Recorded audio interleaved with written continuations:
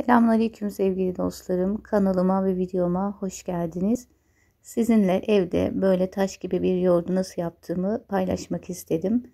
Öncelikle süzümü, sütümü her seferinde böyle bir bez yardımıyla süzüyorum.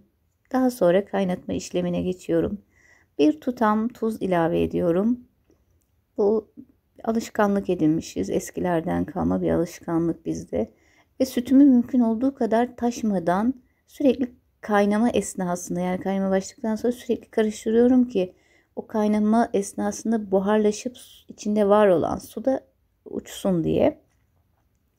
Daha sonrası ılıdıktan sonra böyle kavanozlara bölüyorum ve yaklaşık yarım yemek kaşığı ölçülerinde mayamı ilave edip karıştırıyorum. 24 saat boyunca üzerini kapatarak bekletiyorum. Eğer elimde yoğurdum bazen ekşiyor. O zaman da Bim'den tava yoğurdu alıyorum. Tava yoğurduyla mayalıyorum. Görmüş olduğunuz gibi mayam tuttu. Şu an tabii ki içerisinde su var. İşte bu suyunu alması için o taş gibi olabilmesi için 24 saat boyunca buzdolabında ağzı açık bir şekilde bekletiyorum. Görmüş olduğunuz gibi eğer denerseniz yorumlarınızı bekliyorum.